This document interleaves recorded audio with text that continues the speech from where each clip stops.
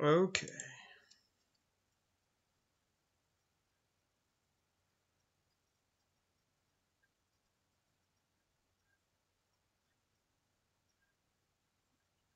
Okay, looks like we are live. Had a little sound issue, so I apologize for that. So, welcome back. This is week 9, primate behavior, chapter 11 in our lab manuals. And so we'll be taking the basics that we learned about primates last week, and we'll be looking at some details of how primates act. And remember that we are primates, so although most of the information here will be looking at great apes and monkeys. Um, throughout the lecture, you should be thinking about how these same things apply to you and your behavior and the behavior of people around you that you observe. So first up, uh, some quick class business. Uh, all the grading is caught up, so your exam two grades and all your homework grades should be posted uh, in Gradebook and since class in person is canceled for the rest of the semester, um, you won't be getting your physical exams back anytime soon. I do save everything for several years, so eventually you can have them if you want them. But in the meantime, if you have questions about your exam score or want to review your exam, let me know and I will provide you with some feedback. I'm not sure right now what format that will be in. I might have a scanner here that works. I haven't set it up yet, in which case I could scan all your work and send it back to you, but that's kind of a hassle. Or I could write up the answers to the questions you got wrong with some explanations and send you that as an email. Uh, that might be easier. So if you don't care about the feedback, then I won't send you anything. But if you want feedback on what you got wrong, then I'll provide it. And then if your exam score wasn't what you hoped it would be, there is the extra credit assignment which I posted in last week's module. That's worth a lot of points, so take a look at that, and that's not due until the day of the final. And of course, as always, if you have any questions, um, just contact me and I'll answer them. Also, a few people had questions about um, the format for the homework and what they should or shouldn't turn in. As far as I'm concerned, all that's important to me right now is that you get the homework to me in some way, shape, or form.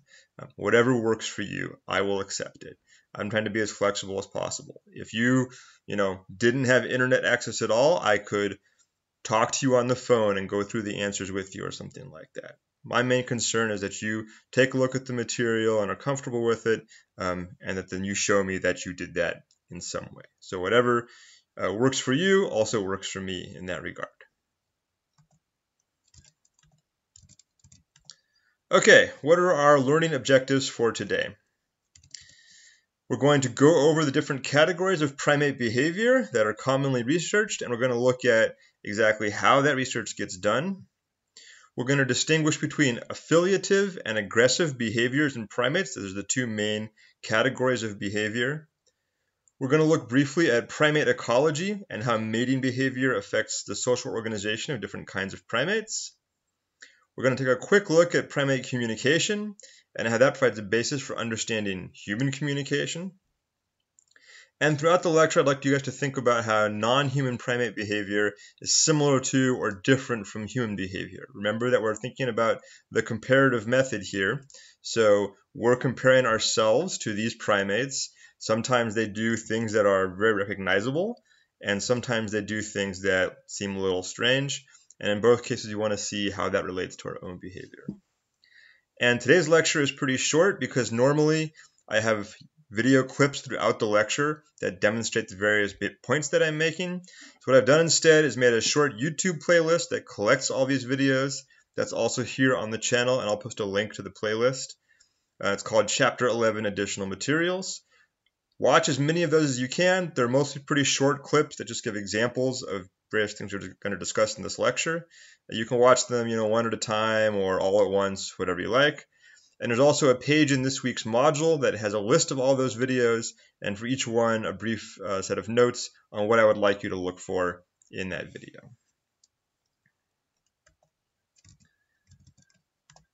Okay, so primate behavior can be divided into several different categories that we concern ourselves with socialization, how do individuals interact with each other?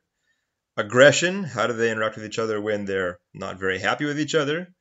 communication. How do they communicate? Um, primates don't are not able to speak in the same way we are, but they're able to vocalize. Remember that none of these individuals have a hyoid bone, so they're not able to utilize complex language the way we are, but they are able to vocalize. And there's some hints that there's a cognitive basis for the same kind of communication that we do in some of these individuals. And from there, we're going to look at intelligence. So it's doubtless that primates have some form of intelligence. We're always trying to figure out more about what exactly that intelligence constitutes.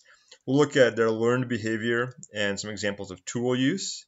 And then at the end, we'll ask if primates have culture. Often we only think of humans as having culture, but there's some arguments that many kinds of animals, but primates in particular, also have culture uh, within certain restrictions.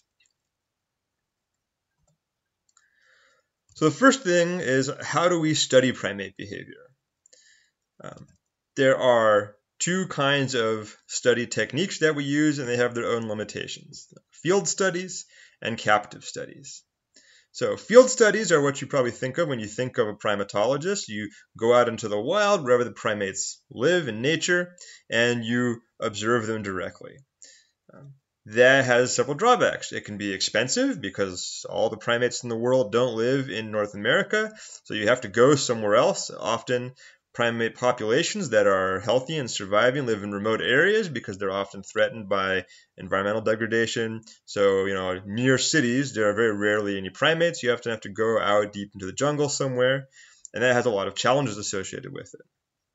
But this is the way to get the best possible data because you are seeing these individuals as they naturally are in the wild, uh, often with limited interference because they're off in some remote area. So the data you gather is really high quality. And you can see a lot of unexpected things because you're just watching them in their daily lives, and things might pop up that you never expected to see. And there's a couple of examples of that in this lecture. On the other hand, you have captive studies. Captive studies take place with captive populations. Those are primates that are in zoos, uh, in research labs, which is becoming a thing of the past. Um, and so, because those primates are in a fixed location, it's much easier to plan, organize, and carry out these kinds of studies. Uh, and often you have individuals that live for a much longer time because animal lifespan is longer in captivity than it is in the wild. But the downside, of course, is your data is limited. You're not going to see the whole range of wild natural behaviors. And certain behaviors might be impossible to document because the animals won't do them when people are watching or they don't do them in captivity. So on the bottom there we have a chimpanzee that was trained to do various uh, memory tricks with numbers, which of course you'd never see in the wild, but that also raises the question of if uh, captive primates have different behaviors than wild primates.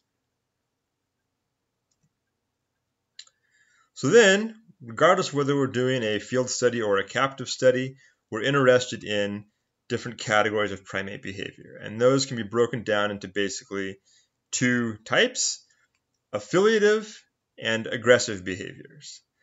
Affiliative behaviors are behaviors that build social connections between individuals or within their own within their groups. They're always cooperative. So you have your affiliates; those are all the individuals that you're associated with in a positive way. For humans, that would be first your family, and then your friends, um, your mates, so boyfriend or girlfriend, right, a husband or wife.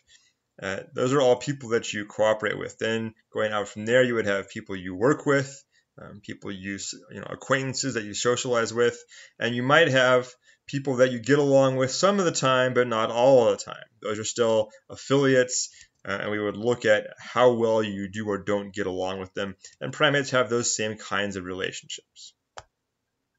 And then on the other hand, you have aggressive behaviors. Those are behaviors where there's conflict.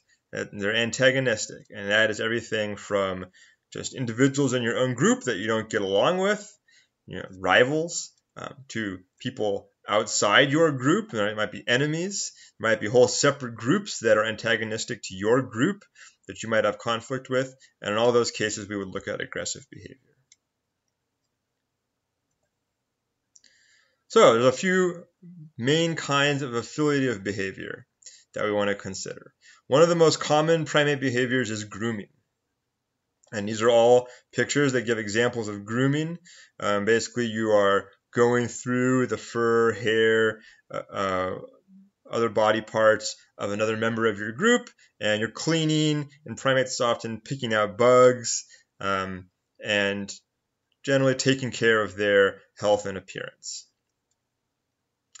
What we see in primates is that lower ranked individuals typically groom higher ranked individuals more. So grooming is not just a way of taking care of your family or your friends, it's often a way of showing a higher ranking individual that you um, want their attention and that you are doing something for them, which they will hopefully return by being nice to you. Right? So in chimpanzees, especially, often, like in this picture, the high ranking individual, like a matriarch or a group leader, will get groomed by lower ranking individuals. In humans, that behavior plays out a little differently some of the time, but you might ask yourself um, where you could see examples in society where lower ranked individuals do the grooming for higher ranked individuals on a consistent basis.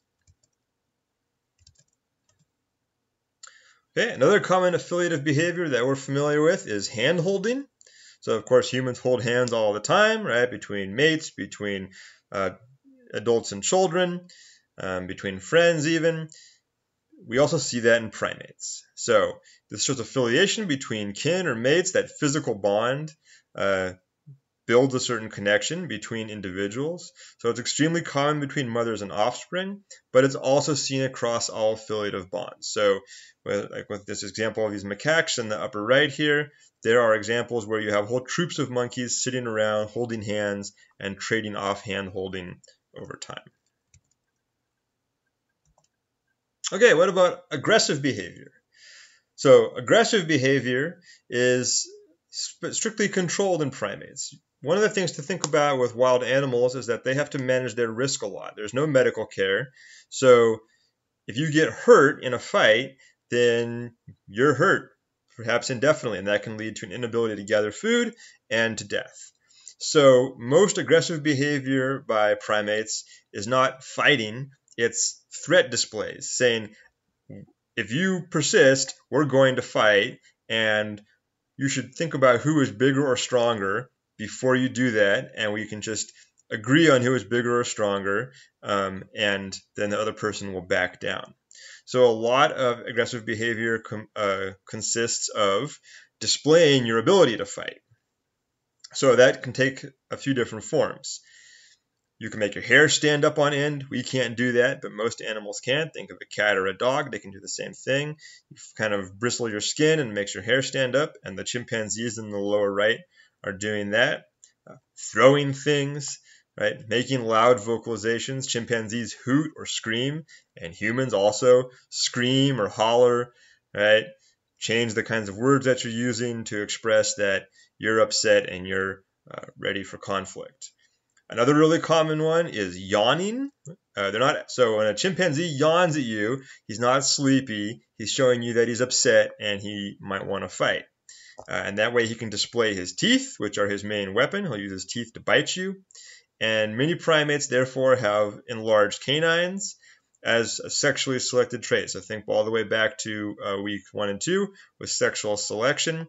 A lot of species like baboons have large fangs, and they do use those to eat meat, they're not primarily meat eaters. The purpose of the fangs is mostly to uh, for, for threat displays, right? And so larger, more powerful males tend to have larger fangs, and those fangs are sexually selected for.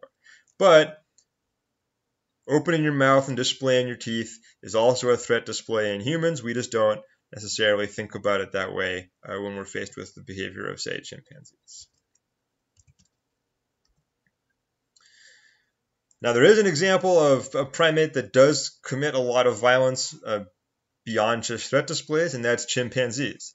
So chimpanzees have been documented carrying out raids where they get bands of males together and go to the territory of another group and pick out one chimpanzee and attack them. Um, they also patrol the borders of their territories, and they might attack rivals within their own group. So there is uh, chimpanzee on chimpanzee violence within family groups. And this is really interesting because chimpanzees are our closest living relatives. So there's been some suggestion that the relatively high amount of violence seen in humans can be traced back to chimpanzee behavior and that the way they behave can tell us something about the origins of warfare uh, and conflict between groups. The other big aggressive behavior that we see across primates, not just in chimpanzees, is infanticide. That's when uh, male individuals seek out infants in the group and kill them. And this happens uh, for a sort of complicated biological reason. So we usually see it when either a new male becomes dominant in a group or when new females enter the group with infants that they um, bore outside of that group. And the reason for this is because all primates, except for us, have something called lactational amenorrhea, which is that when they have a child that they're nursing, uh, they're temporarily uh, infertile, so they're not able to to mate. And if that infant dies, then the hormones that cause that go away and the female is able to mate again. And so the reason for this happening is that the new male wants to mate with all the females um, so that he can spread his genes, right? Survive and reproduce. And he can't do that if they're nursing. So the fastest way to get access to them is to kill their children. Uh, this happens in chimpanzees, in gorillas, in macaques, in a wide variety of species, but uh, not in humans, fortunately. All right, on the flip side, going back to affiliative behavior, we also have the case of bonobos. And bonobos are interesting. They're extremely closely related to chimpanzees, and they're nearly indistinguishable except for some minor characteristics. And they don't commit very much violence. They frequently use sex as a form of social bonding, and I have an example of this in the video list. And their groups are also female dominated. So matriarchs tend to be the most powerful and influential, and they hand out uh, favors basically to other individuals in contrast to chimpanzees. And this is interesting because they're also our closest relatives. There's virtually no genetic difference between chimps and bonobos, and they're equally related to us. So, on the one hand, we have the example of chimps who are violent and are used as an example of how we use violence. But on the other hand, we have bonobos who use sex and are maybe an example of how we use sex in our society. One of the interesting things about bonobos is that they use a lot of different sexual positions that are similar to humans, uh, which most animals do not do, including chimpanzees. All right. Whenever we're looking at primates and how they behave, we want to look at their ecology. So this is recognizing that the way primates act uh, is structured a lot by the limitations imposed by their environment, right? If you live in the jungle, there's certain things you can and cannot do. And if you live on the plains, there's other things you can and cannot do. And this shapes your behavior. So a lot of this comes down to diet. And we'll be looking at diet in more detail, I think, next week. But for now, just keep in mind that your social structure is shaped in part by the food availability and in the risk of you becoming food in turn. So, primates who eat, for instance, insects or fruit tend to live in small groups because there's not a ton of insects or a ton of fruit all in one place. You have to go to the locations where they are, hunt basically or forage to gather it. And so, for instance, the tarsier in the upper right there, who mostly eats insects, they tend to live in the very small groups, often just one or two individuals and they're mostly arboreal. That's where their food is because since they're small, they're vulnerable to being eaten by other animals like eagles or snakes. On the other hand, if your food source is abundant, like leaves in the jungle, right, then you tend to live in large groups because you need to spread out uh, to gather all that food. You need to consume a lot of it because it's relatively low in calories. And so instead of relying on size and arboreal behavior for protection, you rely on numbers. And so no one's going to attack this pack of gorillas here. That would be extremely unwise. And so they can afford to sit around all day eating leaves in the same way that a herd of cows might chew on grass. Chimpanzees do both things because remember that chimpanzees have a generalist diet, they eat everything. And so their social structure incorporates both of these strategies, and we call that a fission fusion structure. So you have a group of chimpanzees, and they fission, they split up into small groups, often family based, when they're foraging for rare foods like fruit or meat.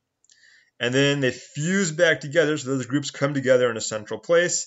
Uh, at night, so they sleep all in one large group so that they're protected, or when they're eating things like leaves, then they have a more similar behavior to gorillas.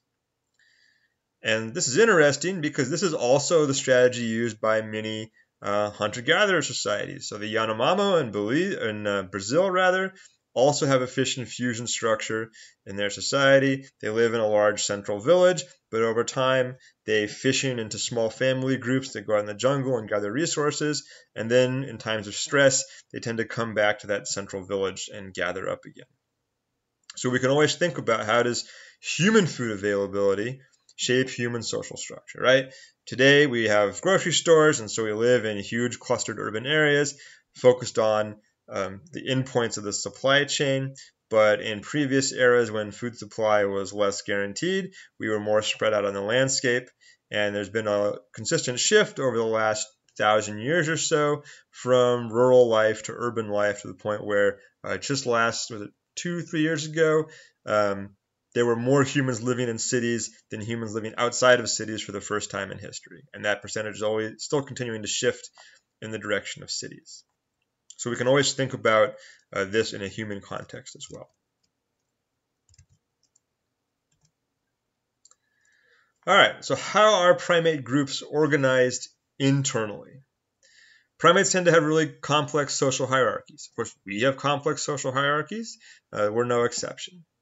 One thing that we typically see in primate groups is that higher status males have better fitness, that is, they survive and reproduce more, and that's because they tend to dominate the process of mating. So we'll look at some examples here, but many primate groups, only one male mates with most of the females in the group. Bonobos, again, are an exception to this. Their troops are matriarchal, so um, the females tend to lead the troops, and uh, mating happens all over the place. Often within groups, regardless of species, uh, males who are not the dominant male form coalitions with each other to improve their rank and, and, try to overthrow the dominant male. So there's a constant process of jockeying for dominance, especially in groups where one male controls most of the females. Um, within groups, we have what are called alliances. This is a standard affiliative behavior. Um, different individuals make alliances with each other. That might include things like sharing food, sharing parenting responsibilities, protecting each other against other individuals who are rivals within the group. Um, and all of these behaviors indicate that primates have a really good memory for who has been nice to them and who has been mean to them in the past. And how long that past goes back depends on the species. So orangutans, chimpanzees, gorillas have a pretty long memory. Um, smaller animals like the capuchins here have less of a good memory. But a lot of game theory research has therefore focused on primates because we can see their strategies play out in real time uh, in field studies. And again, capuchins on the right there are uh, a focus for that for that kind of study. They have a lot of interesting affiliative behaviors. So we're going to go through the different types of social organization in primates and what their characteristics are. First example is solitary. So most adults spend their time alone Adult females, of course, are with their offspring, and they have their own territories. And then males have their own territories that overlap with different female territories. So a male will go around in his territory. He may mate with different females at different times, but he doesn't have much to do with his offspring. And meanwhile, you have certain males and certain females who may be out of um, everyone else's territory for certain periods of time. And the big example of this type of organization is orangutans. So they're almost entirely solitary. They only really come together for mating. Uh, and that's that's the prime example of that. Then you have monogamous uh, social organization. This is where each family group is a pairing of one male and one female uh, with their offspring.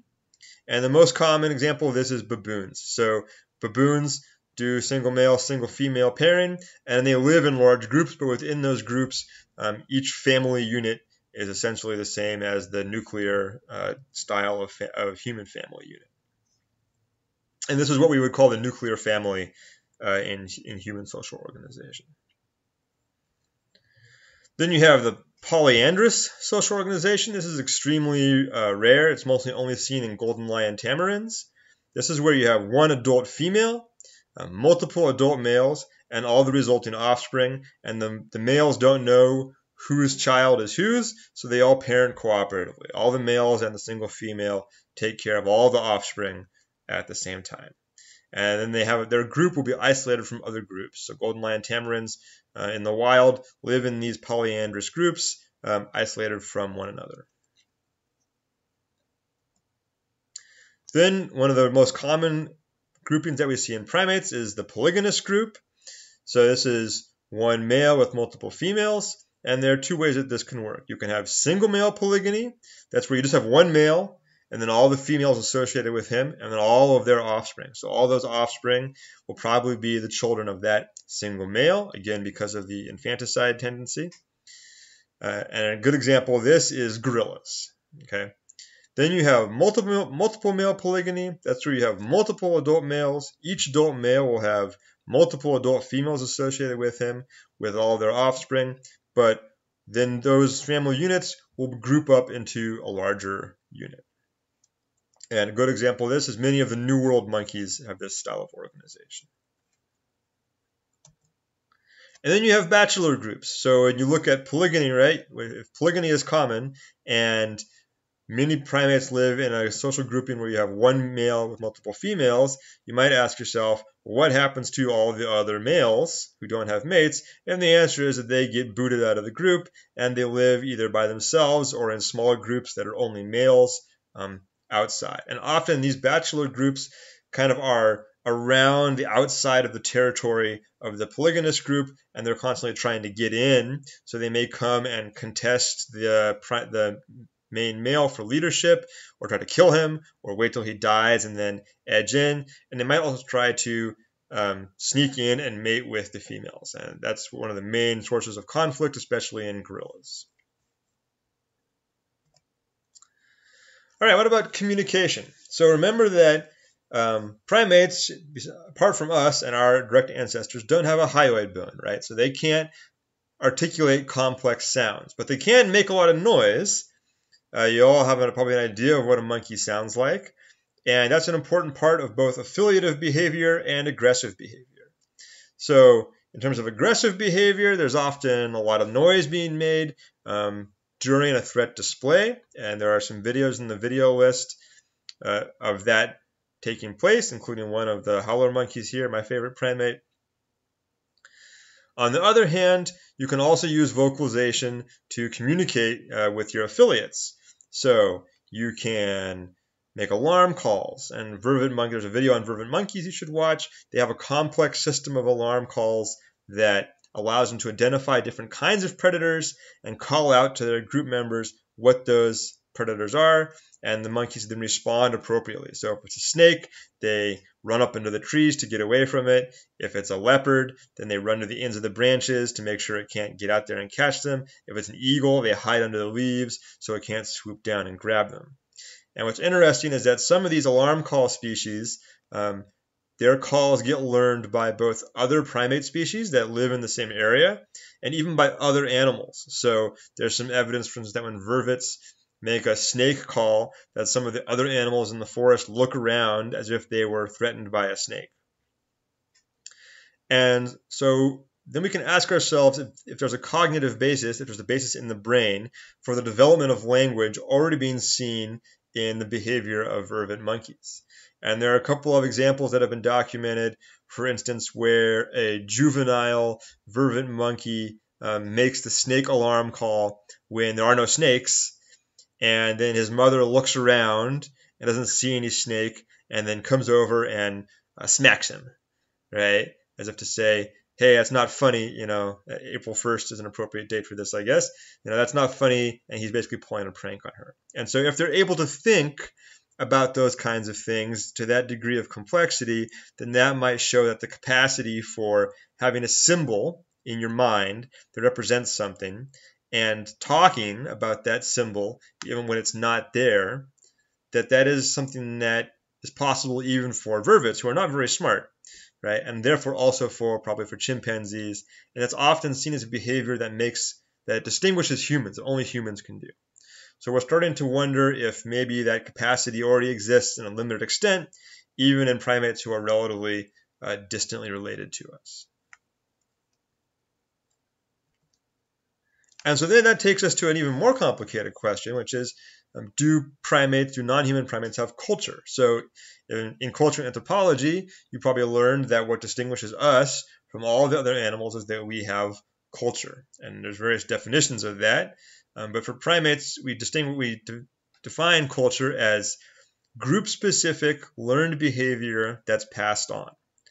So if you think about how you, right, how your culture is constructed, you have behavior that is part of that is your part of your group, right? Whether it's your family background or your ethnicity or your social circle, right? You have behavior that your group does that other groups don't do, and you learned how to do that behavior from somebody else, probably your parents, um, and then that behavior is passed on. Your parents passed it on to you. You're probably going to pass it on to somebody else. Your parents got it from your grandparents. And so the question is do primates fit that definition? And the answer is that they do. Most of what we see as far as primate culture goes relates to food acquisition. And so there's a bunch of different primate behaviors where they use tools to get food. So the three big examples are cracking nuts with stones, um, chimpanzees do this, but also some of the New World monkeys. Fishing for termites. So here we have a chimpanzee fishing for termites, which are delicious. They taste kind of like lemon because they have a, a acidic defense reflex. And so what they do is they take a stick and they chew the end of the stick until it's frayed like a brush. And then they stick that in a termite hole there and they wiggle it around. And the termites gather, grab onto the frayed part of the stick, and the chimpanzee pops it out and sucks off the end of the stick and sucks all the termites off. And we've seen that they pick very specific sticks. So they'll go around and look for the right stick and then modify it just so so that it does the job correctly. And then finally, there's one group of chimpanzees that's been found making sharp sticks and then jabbing them into holes in tree trunks to kill something called a bush baby, which is also a primate. Looks kind of like a small squirrel. So if you imagine, you know, hunting a squirrel with a pointy stick, basically, while it's sleeping, there's one group of chimpanzees that does that. And in all these cases, what's interesting is that that behavior has to be taught. So there are no chimpanzees that just start doing it. It's not an instinct. Um, they have shown by their parents how to do it, and it takes time for them to master it. So there's an interesting video that I didn't put in the video list on uh, these nut cracking monkeys on the bottom right here, where they show the children being shown how to do it and then trying to do it and failing, and the parents come and correct them and show them you have to hold your hand in a certain position with the rock in order to strike the nut correctly, and then they practice until they get it right.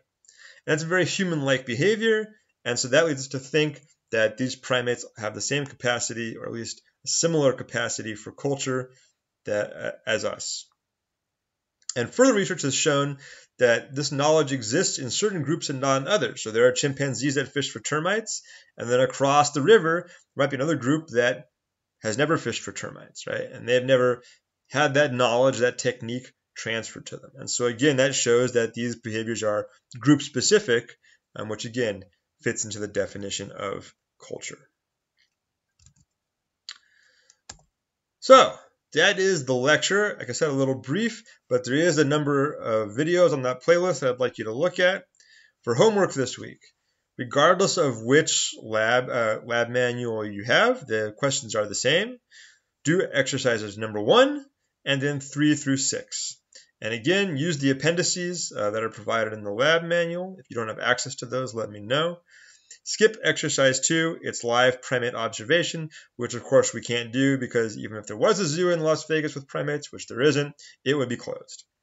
So we're not going to do that. However, in the additional materials page, I've provided several webcams uh, to primate exhibits in zoos across the country, and I encourage you to take a look at them. I'm not even sure if all those zoos are letting their primates out right now, but they probably are for exercise. And so if you get a chance to observe the primates, it's a great time because there's no tourists um, interfering with them. So if you have a chance, take a look at those, but it's not required. Now, that's just enrichment. As usual, if you have any questions, don't hesitate to contact me. I'm available in all the usual ways. Uh, and I hope everyone is staying safe and doing well. Um, we'll try to get through the rest of the semester as smoothly as possible. Oh, and also, I have posted the updated syllabus, so take a look at that. We're just going to stretch everything out a little bit to fill up that week where I was going to be gone. Uh, the final will still be on the same day. It will be online on Canvas instead of being a paper final. So, have a great rest of your day, and I will talk to you all later.